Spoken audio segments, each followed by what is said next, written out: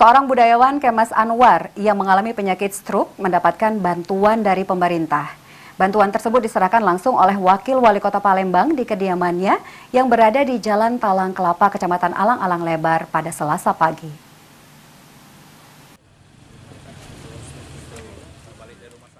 Seperti inilah kondisi Kemas Anwar, seorang budayawan sekaligus pencipta lagu Palembang. Kini hanya bisa terbaring lemah lantaran menderita penyakit stroke.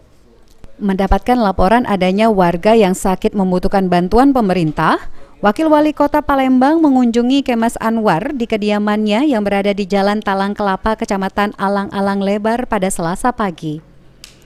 Dalam kesempatan tersebut, orang nomor dua di kota Palembang tersebut memberikan bantuan berupa uang dan sembako, serta membawa tim medis untuk memeriksa kesehatan Kemas Anwar.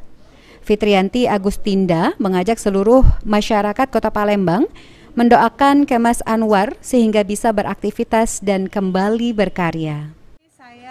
Uh, Wakil Wali Kota Palembang hadir di rumah pribadi Kemas Anwar uh, Bek atau Nyai Yai Bek ya. Uh, beliau adalah pencipta lagu, budayawan, dan sampai dengan sekarang kita masih menikmati karya-karyanya. Kita mendapat informasi memang uh, beberapa hari ini mendapatkan serangan stroke yang kedua ya. Karena kalau kemarin stroke ringan ini kita mendapatkan uh, kabar beliau mengalami stroke uh, yang kedua, tentu rasa prihatin kita bersama dan kita mendoakan seluruh warga supaya uh, Yai Bek ini betul-betul nanti bisa mendapatkan pemulihan kesehatan kembali dan mengingat usianya memang sudah 70 sekian ya.